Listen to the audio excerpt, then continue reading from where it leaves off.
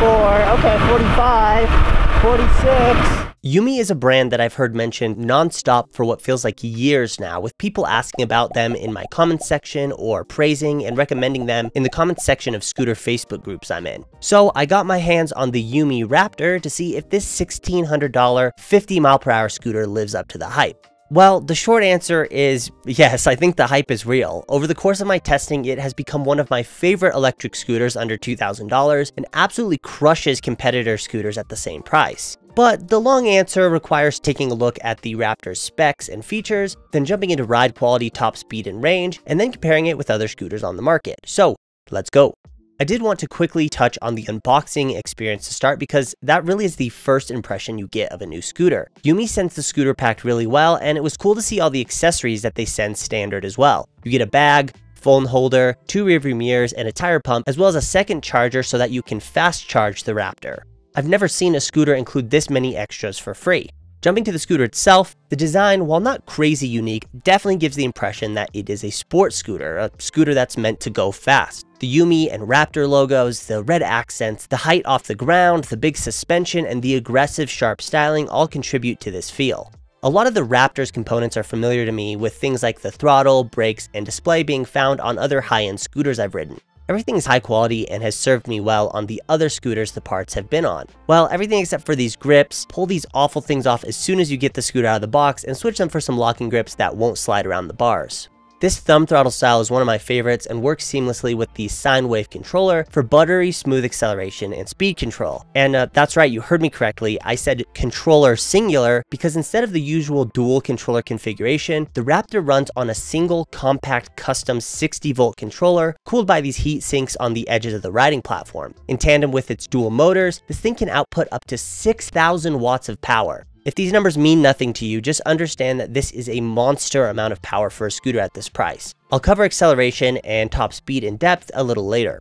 While we're down here by the motors, let's talk about the tires, which have a diameter of 11 inches and a width of almost 4 inches, making them, again, monsters for the price. With the power the scooter's outputting, having the larger, wider tires is great for stability and ride cushioning at higher speeds. It's rare to see an 11-inch scooter at this price, and then again, it's rare to see such power at this price. It's cool to see Yume setting new standards for what you can get at $1,600. Yume offers the option of slick road tires or off-road tires, and while my Raptor is fitted with the road tires, I would love to potentially swap them out in the future as I have been known to do a little bit of off-roading. Let me know if you'd like to potentially see a video of the scooter off-road in the future.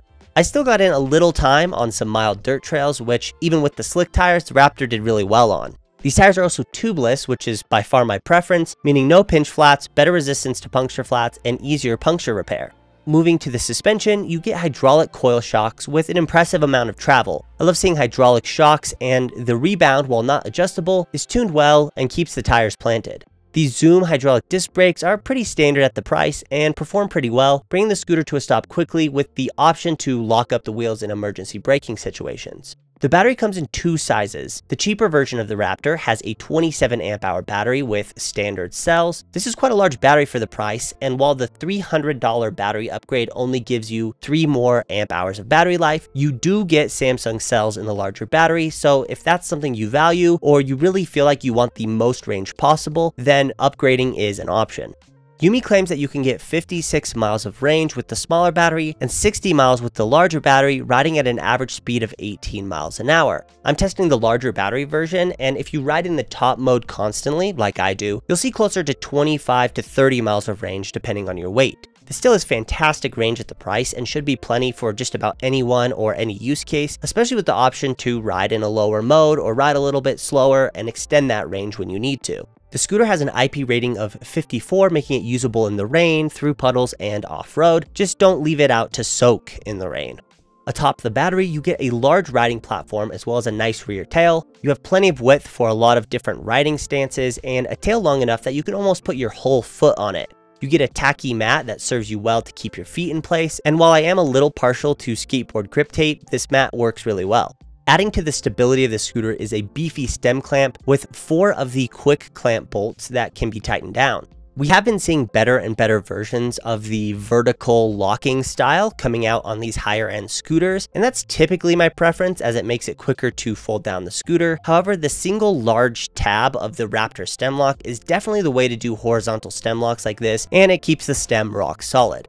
Portability wise, this is obviously not intended to be a scooter that is super easy to haul around or carry, but considering the performance the Raptor packs, its weight of 97 pounds seems very reasonable. Folding down, it sticks in a car with just a bit of effort, though it would have been nice to see a folding lock to keep the handlebars from sliding around when folded down. This has a max rider weight of 330 pounds, making it very big dog friendly. The suspension's adjustable preload and the insane amount of power the scooter outputs means that even the largest riders will find that the Raptor can handle them quite easily. The adjustable handlebar stem is also perfect for dialing in the most comfortable ride for different rider sizes. The cockpit as a whole is set up really well with nice wide 735mm handlebars, some of the widest bars I've tested on an electric scooter. This helps with control and stability and also leaves you plenty of space for accessories. The display is the same one that is on the InMotion RS, a large color display with NFC technology. You get the usual information with the speed being large and centered. The display is actually quite accurate to your actual speed, even showing speed about 1 to 2 miles per hour slower than GPS, which is unusual. Usually scooter displays dramatically overestimate your speed, being off by as much as 5 to 10 miles an hour at the top speed sometimes, so the Raptor being this accurate is refreshing.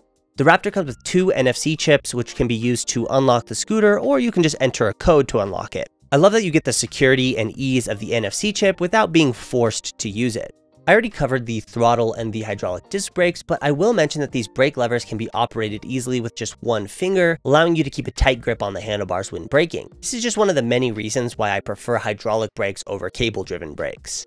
This uniquely comes with both a high and low mounted headlight, making it one of the few scooters that I would feel comfortable riding for extended periods in the dark without installing extra lights. You also get rear and front turn signals which strobe, making them very hard to miss for cars around you. Okay, let's get into the fun stuff and talk speed, acceleration, and other aspects of performance. You get three riding level modes as well as single and dual motor modes. And I mean, unless you're trying to save battery, just throw this thing into mode 3, dual motor, and let it rip. The nice part is that the sine wave controller allows for really precise speed control, so you can have this scooter in the highest riding mode, but still ride at a lower speed. It has a claimed top speed of 50 miles an hour, and I saw GPS speeds as high as 48 miles an hour when riding around. However, the scooter definitely felt like it had a bit more to give and probably could be pushed to 50 miles an hour with a long enough straight. It flies up to 40 and even 42 miles an hour with no issues, but takes time, a more compact aggressive riding stance, and a bit of guts to reach the highest speeds. Past that 40 or 42 mile per hour mark, any imbalance in the wheels or bouncing of the suspension can cause instability fairly quickly, so I would advise you to ride with a lot of caution over 40 miles an hour. Acceleration will obviously vary drastically based on your weight, but for me, a 205 pound rider, the Raptor did its 0 to 30 mile an hour pull in right around 6 seconds, a great time for a scooter at any price and absolutely ripping for $1,600. Nothing at the price really comes close. However, as crazy as it sounds, it doesn't feel like the Raptor is making full use of all of its 6,000 watts of power, almost like it's holding back to protect the rider. I would have expected a bit more torque for the wattage, but it's still blistering fast and a ton of fun. I did check to see if there were any P settings that I could change to further crank up the acceleration, and I even reached out to Yume about it, but they couldn't provide any information and I couldn't find anything. So if you have this scooter and know if it's possible to crank up the acceleration, then leave a comment down below. The size and weight of the Raptor sits in such a sweet spot for handling and ride comfort, giving you the weight and stability of a larger, heavier scooter while not feeling large or sluggish when carving or cornering. Put simply, this is a fast, fun, adrenaline pumping scooter to ride.